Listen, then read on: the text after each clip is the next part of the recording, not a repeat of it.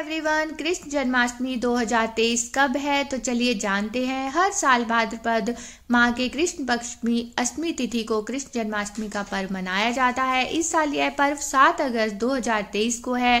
कृष्ण भक्तों द्वारा यह पर्व धूमधाम से मनाया जाता है। कृष्ण जन्माष्टमी के दिन लोग व्रत रखते हैं, मंदिरों को खूब सजाते हैं और मंदिर में पूजा अर्चना भी करते हैं। मान्यता है कि भगवान श्री कृष्ण का जन्म मध्य रात्रि में हुआ था, इसलिए कृष्ण जन्माष्टमी की पूजा रात में ही की जाती है। साथ ही रात्रि जागरण भी होते हैं।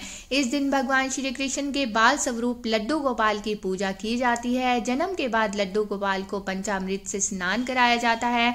साथ ही बाल गोपाल का श्रृंगार किया जाता है। उन्हें सुंदर वस्त्र, बांसुरी मोरपंख काजल, मुकुट, पाजेब जैसी चीज़ों से सजाया जाता है। ऐसे में आइए जानते हैं कि कृष्ण जन्माष्टमी पर कैसे करें लड्डू गोपाल का श्रृंगार।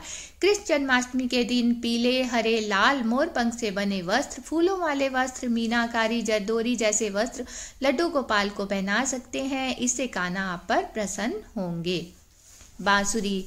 बांसुरी काना की सबसे प्रिय वस्तु है। इसके बिना काना का श्रृंगार अधूरा माना जाता है। ऐसे में कृष्ण जन्माष्टमी के दिन आप छोटी सी बांसुरी काना के हाथों में ज़रूर ज़रूर रखें। श्री कृष्ण को मोर पंख अति प्रिय होता है, इसलिए जन्माष्टमी के दिन उन्हें मोर मुकुट ज़रूर पहनाएँ। ऐसा करने से काना प्रसन्न होंगे और आपकी हर मनोकामना की पूर्ति करेंगे।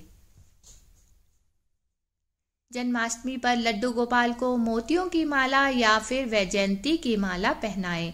आप चाहें तो पीले या लाल फूलों से बनी हुई माला भी पहना सकते हैं। इससे श्री कृष्ण की कृपा आप पर बनी रहेगी।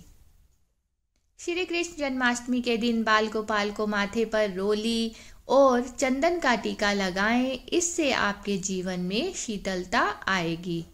कृष्ण जन्माष्टमी के दिन पूजा के समय चांदी या सोने के कड़े से लड्डू गोपाल का श्रृंगार करें। इससे जीवन में आ रही बाधाएँ दूर होंगी। भगवान श्री कृष्ण की कृपा पाने के लिए चांदी से बने पाजेब या पायल बाल गोपाल के चरणों में ज़रूर पहनाएँ।